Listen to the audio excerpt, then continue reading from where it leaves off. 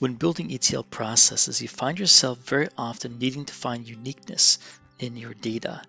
There are many reasons for that. Uh, a few of them could be uh, where you need to find only the data that's changed in your source, or you're just looking to deduplicate data within your rows of data.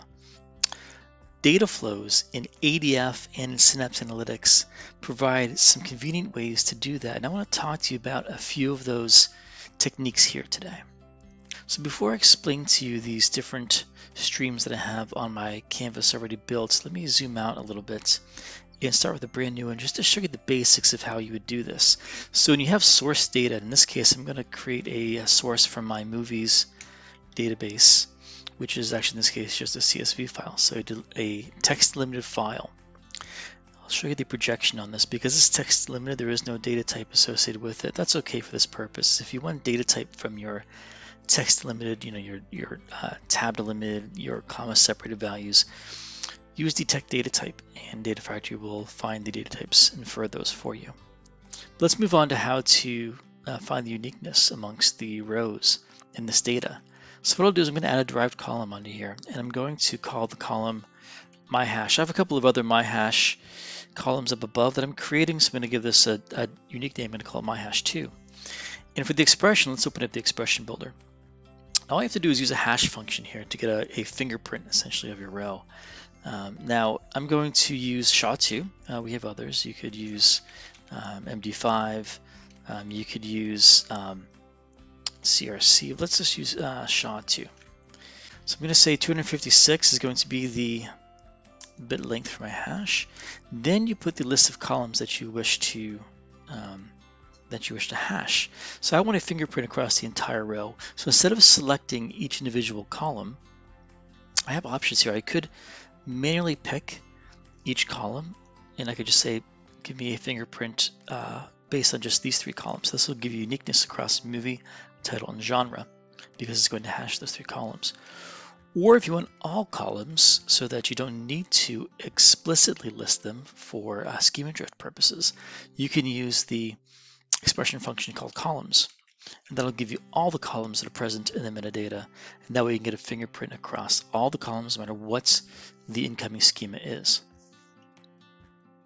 Okay, so let's go ahead and refresh that. And that's going to give me a, a hash across all the columns, which is going to be uh, no matter what the value is of the columns coming in, I'm going to get all the columns by using the columns function. Now that's that's fine, that, that works very well. However, what happens then is what you'll find yourself in some situations is needing to select a set of columns that are not necessarily able to be predefined by your data flow because they may change. So one of the ways to do that is through parameters. So let's go ahead and create a new parameter.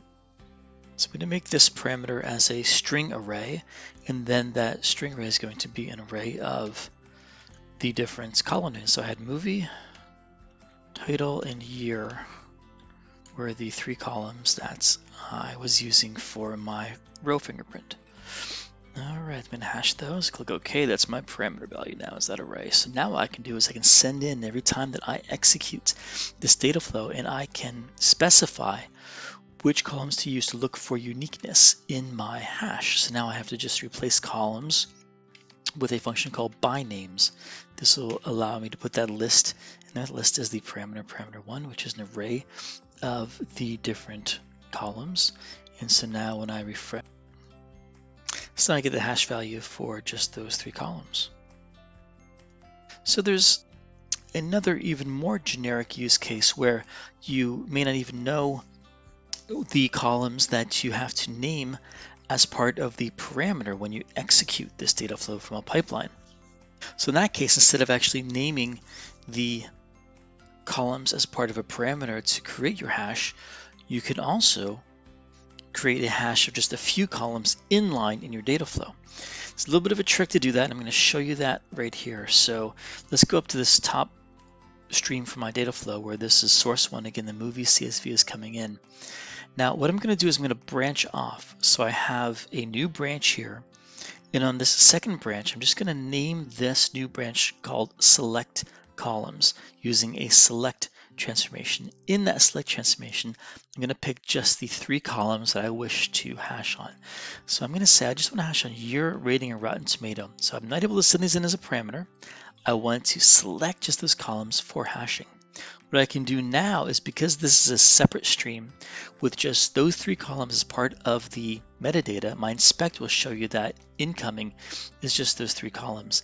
Now I can go into a derived column and just use SHA-2 256 bits using the columns function. Again, the columns function is the value for all the columns in that stream at that time, but because this stream only has those three columns, that's all I'm going to be hashing. So then I can join that back right up here. So I have a join that just joins it back on those three columns that I've chosen. This way I know that I'm going to be associating the right hash value with the right row by using the key or essentially the columns that I use for my uniqueness in the select. The second way of doing this is by using a cached lookup. So I have a separate source because the cache sink needs to be a separate stream. This source transformation is the exact same source I'm using up here. And then again, I have my selectivity, just those three columns.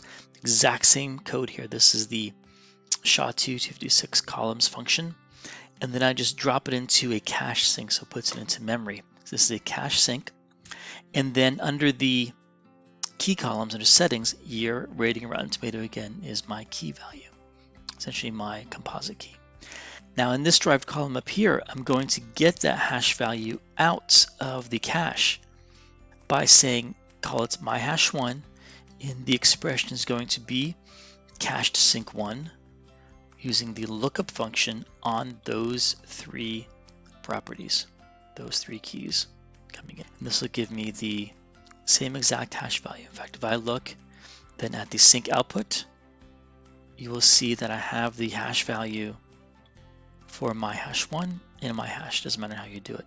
But that's how you can select columns using the columns function to create a hash and a fingerprint for your rows with those different techniques in data flows, both in Synapse Analytics and in Data Factory. All right, so thanks for watching.